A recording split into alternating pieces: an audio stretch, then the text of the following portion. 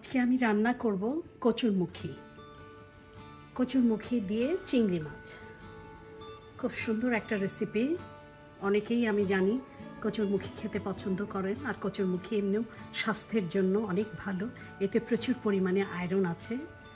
কচুরমুখী ইচ্ছা করলে আপনারা চিংড়ি মাছ বা ইলিশ মাছ বা কই মাছ ভেজে বা রুই মাছ এগুলো দিয়েও কিন্তু কচুরমুখী দিয়ে রান্না করতে পারেন। অসম্ভব মজার একটা তরকারি। আজকে আমি সেই তরকারিটাই আপনাদের সাথে শেয়ার করব যে আমি কীভাবে কচুরমুখীটা রান্না করি। তো কচুরমুখীটা রান্না করার আগে আমি একটু গরম পানি বসিয়ে দিয়েছি। গরম পানিতে আমি একটু লবণ আর একটু হলুদ দিয়ে নিয়েছি। পানিটা গরম হতে থাক, ততক্ষণে চলে চাটা বানিয়ে নিই আর আমাকে আপনারা কিছু প্রশ্ন করেছেন আমার আমেরিকান পেটু পেইজে এবং আমার মেসেঞ্জারে আপনাদের কিছু পার্সোনাল কিছু প্রশ্ন আছে। আপনারা অনেকেই আমাকে প্রশ্ন করেছেন, আমার সম্পর্কে আপনারা জানতে চান। তো আমি আজকে চেষ্টা করব কিছুটা আপনাদের সঙ্গে শেয়ার করার জন্য।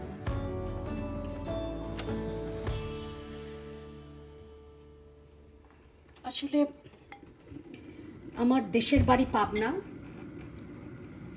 কিন্তু আমার বেড়ে ওঠাটা একেবারেই চাইল্ডহুড ছোটবেলাটা। যখন থেকে আমি বুঝতে শিখেছি, তখন থেকেই আমি দেখেছি যে আমরা ফার্মগেট তেজকুনি পাড়া আমরা থাকি। আমার বাবার চাকরির সুবাদেই সেখানে থাকা। আমার বাবা ছিলেন ইঞ্জিনিয়ার উনি চাকরি করতেন আকিজ গ্রুপ অফ ইন্ডাস্ট্রিতে তো আব্বা তখন আকিজ গ্রুপের অফিস ছিল তেজগা, আব্বা তেজগাতে বসতেন, যে কারণে আমরা ফার্মগেট তেজকুনি পাড়ায় আমরা থাকতাম। তো আমি জানি না, আমার বুঝ হওয়ার আগে আমি আমি আর অন্য কোথাও ছিলাম কি না আমার, আমি মনে করতে পারছি না। তবে আমি যখন থেকে বুঝতে শিখেছি, তখন থেকেই দেখেছি যে আমি তেজকুনি পাড়াতেই থাকি। আমার প্রথম স্কুল শুরু হয় ফার্ম গেটে ফার্ম গেটে হলিক্রস স্কুলে আমার স্কুলের যাত্রাটা শুরু সেখান থেকেই। তারপর ওখানে আমি ক্লাস ফাইভের মাঝামাঝি পর্যন্ত আমি হলিক্রসে পড়েছি। তারপর আবার ট্রান্সফার হয়ে যায় ফ্যাক্টরিতে। তখন আকিস গ্রুপ অফ ইন্ডাস্ট্রির ফ্যাক্টরি ছিল গাজীপুর মোরকুন লাইক দ্যাট তো ওখানে যখন আব্বার যখন ফ্যাক্টরিতে ট্রান্সফার হয়ে যায়, তখন আমরা চলে আসি উত্তরা। সেটা এইটিজের কথা। এইটিজে ওখানে চলে আসি এবং ঠিক দোড়াতে তো উত্তরাতে এসেই আমি ক্লাস ফাইভে ভর্তি হই এবং সেখানেই আমার পড়াশোনা, সেখানেই বেড়ে ওঠা উত্তরাতে। তারপর চাকরির সুবাদে আমি দীর্ঘ সময় আমাকে থাকতে হয়েছে ধানমন্ডি। আমি ধানমন্ডিতে দীর্ঘ সময় ওখানে থেকেছি। আমার অফিস ওখানে ছিল, ধানমন্ডির সাতের এ। আমি কেয়ার বাংলাদেশে আমি জব করতাম। সেখানে আমি এইচআর ডিপার্টমেন্টে কাজ করতাম। যদিও আমার ব্যাকগ্রাউন্ডটা এইচআর ব্যাকগ্রাউন্ড না বাট ভাগ্য আমাকে ওখানেই নিয়ে যায়। আমি এইচআরে জয়েন করি এবং যতদিন আমি চাকরি করেছি, যত প্রতিষ্ঠানেই চাকরি করেছি, সব জায়গাতেই আমি এইচআর ম্যানেজার হিসেবে চাকরি করেছি। তো ধানমন্ডিতে চাকরিরত অবস্থায় বহু বছর ছিলাম, ওখানে আমার নিজস্ব কিছু বিজনেসও ছিল। তারপর আম্মা মারা যাওয়ার পরে আবার আব্বার কাছাকাছি থাকার জন্য চলে আসি উত্তরা। উত্তরাতেই থাকা শুরু করি এবং আমি আমেরিকা আসার আগ পর্যন্ত আমি উত্তরাতেই ছিলাম। এই তো, এই হচ্ছে সংক্ষেপে আমার অবস্থা। এখন আমি দেশের বাইরে থাকি। তো আস্তে আস্তে আমার পানিটা গরম হয়ে গেছে। আমি এখন কচুগুলো পানিতে দিয়ে দিব সেদ্ধ করার জন্য। রান্না করতে করতে আমি বাকি কথাগুলো আপনাদের সাথে শেয়ার করব।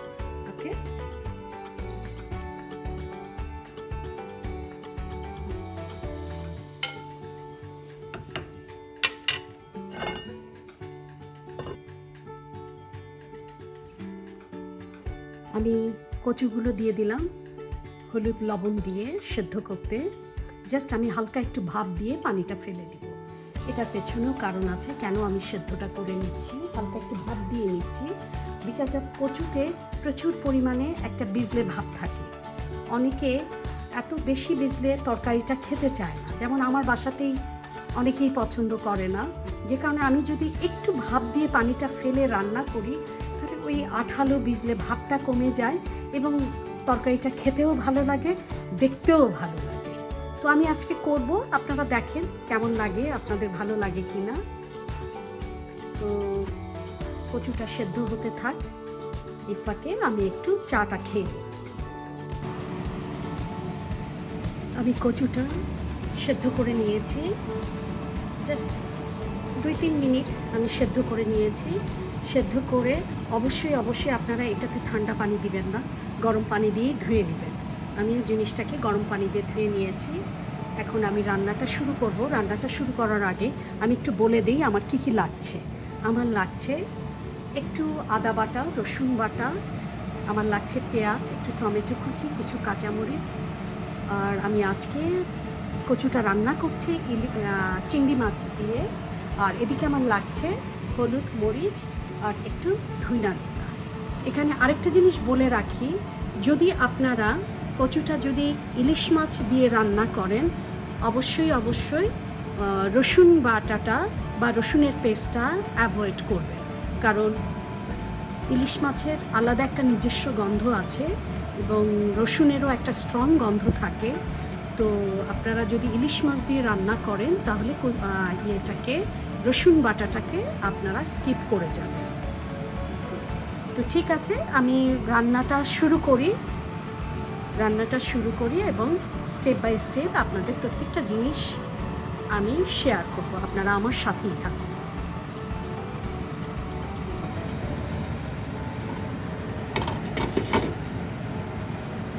কড়াইটা গরম হয়ে গেছে। আমি এখন কড়াইতে দিয়ে দেবো তেল।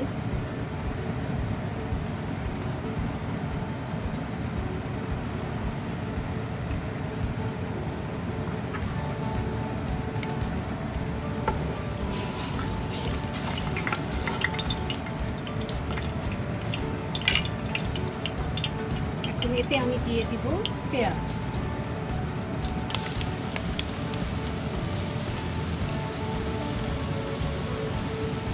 কিছু কাঁচামরিচ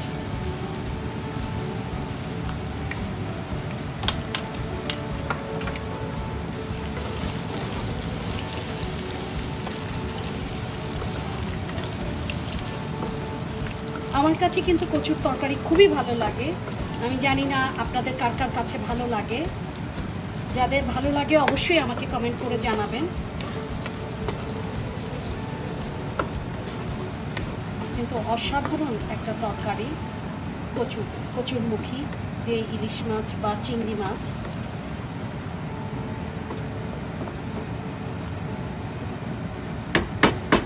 আমি এখন এতে দিয়ে দিচ্ছি টমেটো কুচি।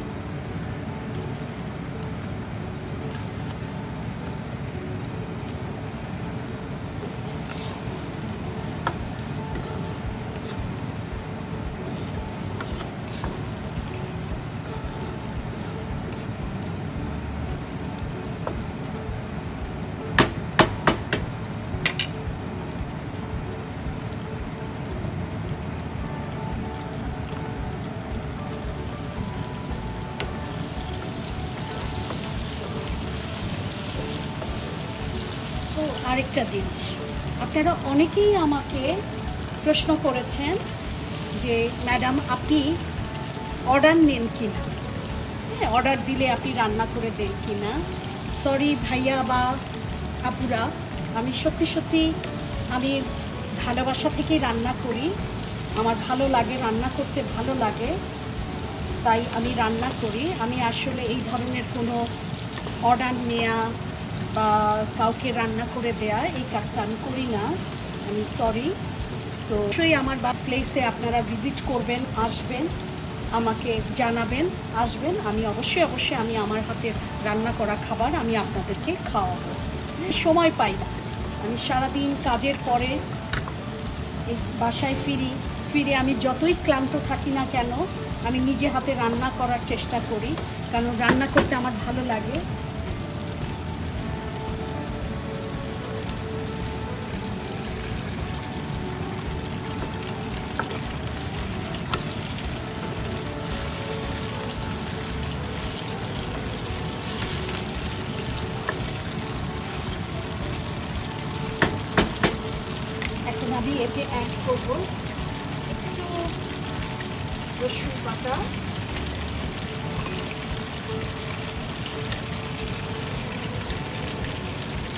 খুবই সামান্য এক চা চামচের মতো রসুন বাটা।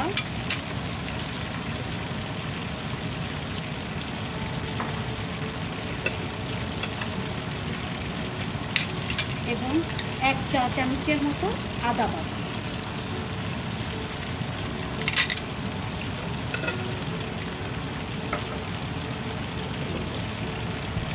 এবং স্বাদ মতো লবণ।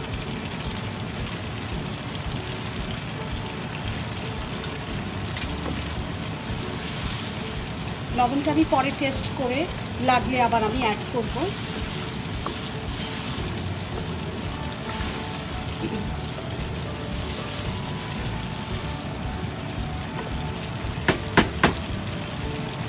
আপনারা যে আমার ভিডিওগুলো ভালোবাসেন, পছন্দ করেন, সেটা আমি বুঝতে পারি। তবে আমার একটা কষ্ট আপনাদের উপরে যে আপনারা অনেকেই আছে, লুকিয়ে লুকিয়ে আমার ভিডিওগুলো দেখেন বাট সাবস্ক্রাইব করছেন না। এটা আমাকে খুব কষ্ট দেয়। অবশ্যই আমার ভিডিওগুলো আপনাদের ভালো লাগে বলেই হয়তো আপনারা দেখেন। তো আর যদি আমাকে ভালোবাসেন, অবশ্যই অবশ্যই সাবস্ক্রাইব করে আমার পাশে থাকবেন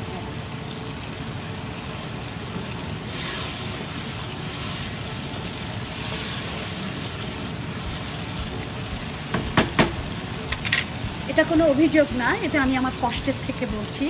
এটা আপনাদের প্রতি আমার একটা আবদার।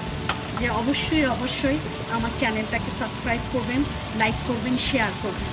কারণ আপনাদের সাপোর্ট আমার অনেক দরকার। আমাকে সামনের দিকে এগিয়ে নিয়ে যেতে আপনাদের সাপোর্টটাই আমার দরকার। আমি এখানে দিয়ে দিচ্ছি এক স্পুনের মতো হলুদের গুঁড়ো।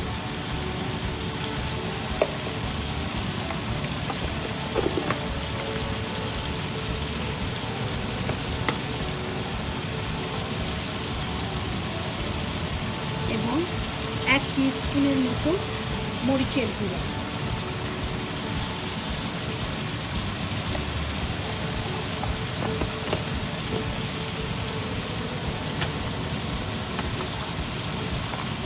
আর দিয়ে দিচ্ছি এক স্পুনের মতো ভিনার গুঁড়ো আর সেট আমার সমস্ত মশলা দেওয়া হয়ে গেল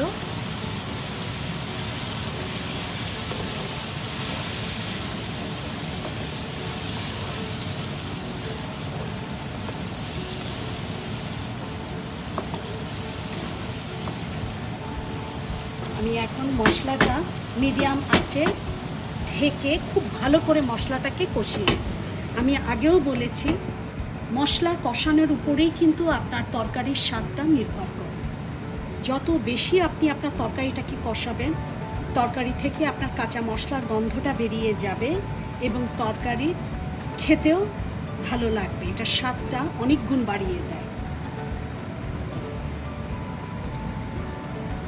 আশা করি আমার সমস্ত টিপসগুলো আপনাদের কাজে লাগছে।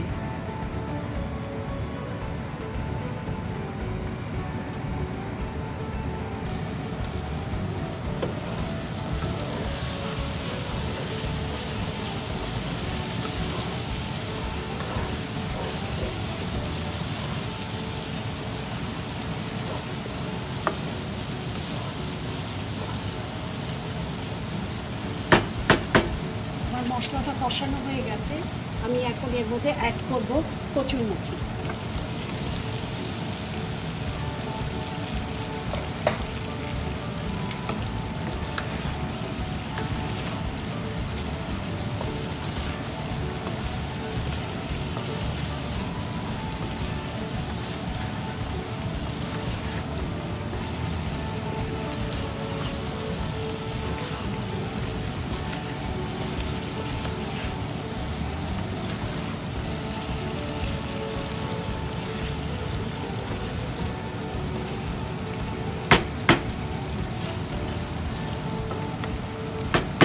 একটু মিডিয়াম আছে কচুটা একটু ভালো করে কষিয়ে দিব।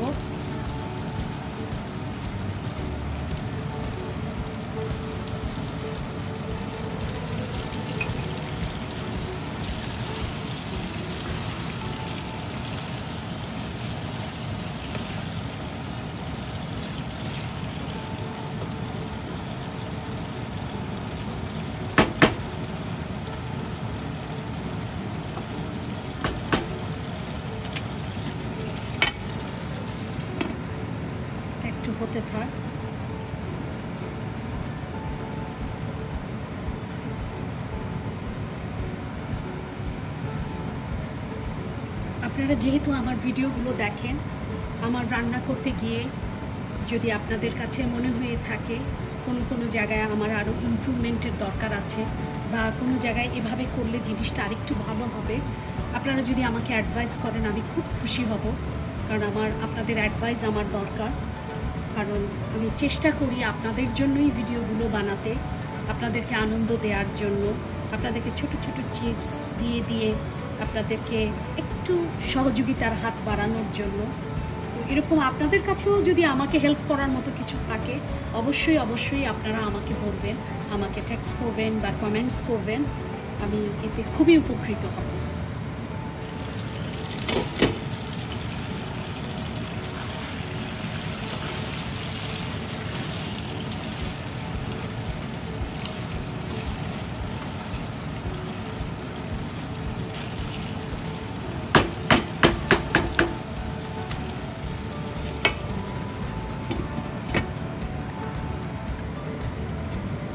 আসলে কি জানেন আপনাদের সাথে শেয়ার করার অনেক কিছু আছে। আমার লাইফের বিশাল লম্বা একটা জার্নি আমি পার করে এসেছি।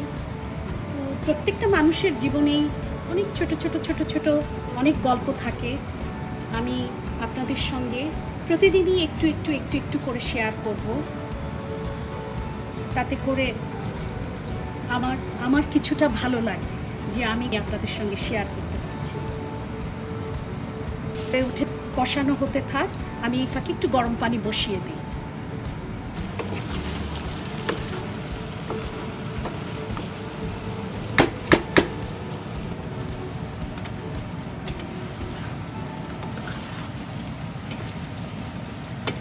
কচুটা আমার খুব ভালো করে কষানো হয়ে গেছে। আমি এখন এতে অ্যাড করব গরম পানি।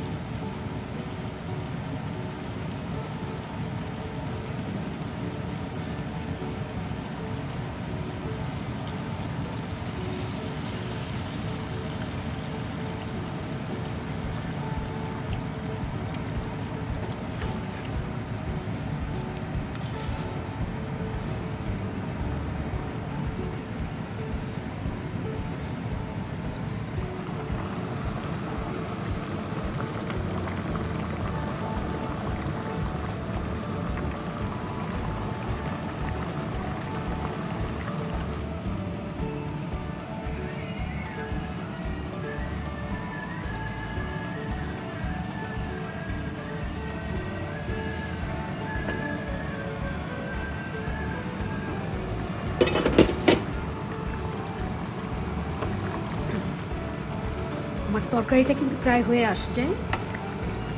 দেখুন, আমার তরকারির কালারটা দেখুন। কত লোভনীয়। আমি কিন্তু তরকারিটার মধ্যে চিংড়ি মাছগুলো দিয়ে দিয়েছি। আপনারা তো জানেন যে চিংড়ি মাছ খুব অল্প সময়েই সেদ্ধ হয়ে যায়। যখনই কোনো তরকারিতে চিংড়ি মাছ ব্যবহার করবেন চিংড়ি মাছটা দেওয়ার পরে তরকারিটা হায়েস্ট পাঁচ মিনিট রান্না করবেন চিংড়ি মাছ বেশি সময় ধরে রান্না করলে এটা শক্ত হয়ে যায়, রাবারের মতো শক্ত হয়ে যায়। চিংড়ি মাছ সব সময় অল্প সময় রান্না করতে হয় আমি জানি আপনারা জানেন। তারপরেও আমি আপনাদের সঙ্গে শেয়ার করব।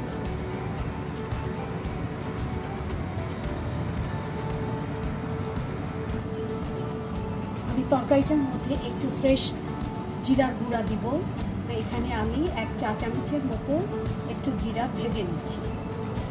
হ্যাঁ এখানে একটা জিনিস বলে রাখি, যদি আপনারা ইলিশ মাছ দিয়ে কচুরমুখী রান্না করেন, তাহলে তাতে ধুনা পাতা দিলে ভালো লাগে।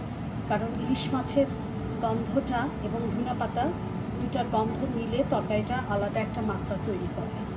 আর যদি আপনারা চিংড়ি মাছ দিয়ে যদি রান্না করেন তাহলে এতে একটু জিরা ভেজে, জিরার গুঁড়া এর সঙ্গে অ্যাড করবেন।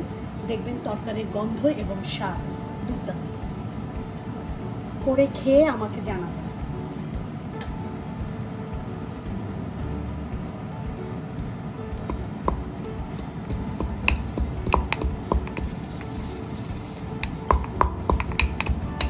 ইচ্ছা করলে জিরাটা ব্লেন্ডারে পিষে নিতে পারেন।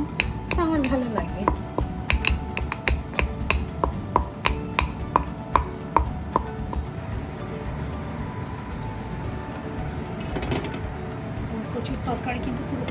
গেছে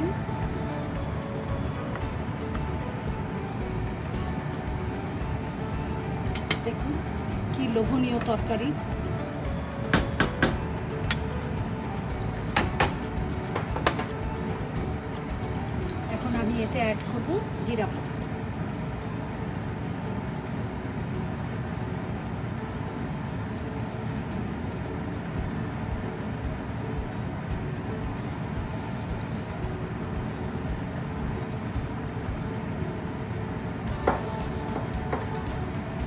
আগেই বলেছি, জিরা ভাজাটা দিয়ে পাঁচ মিনিট একদম ঢেকে রাখবেন, যাতে জিরার গন্ধটা তরকারির সঙ্গে ব্ল্যান্ড হয়ে যায়।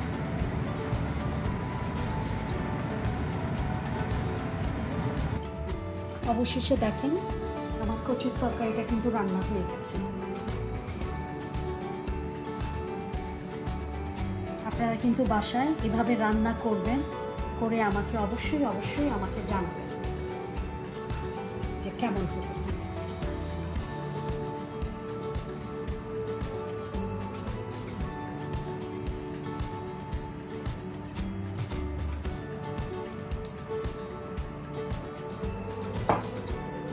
প্লিজ আমার রান্নাটা যদি আপনাদের কাছে ভালো লেগে থাকে, অবশ্যই অবশ্যই আমার চ্যানেলটাকে সাবস্ক্রাইব করবেন।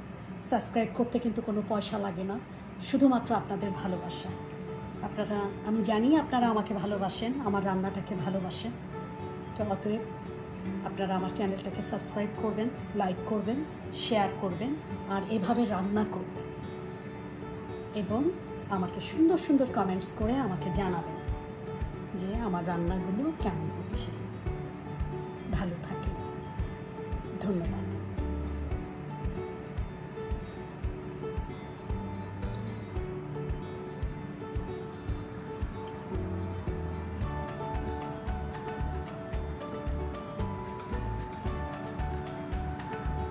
দেখুন, কি অসম্ভব সুন্দর তরকারি। দেখেই খেতে ইচ্ছে করছে, তাই না? আপনারা ওইভাবে করুন আর পরিবারের সঙ্গে শেয়ার করুন।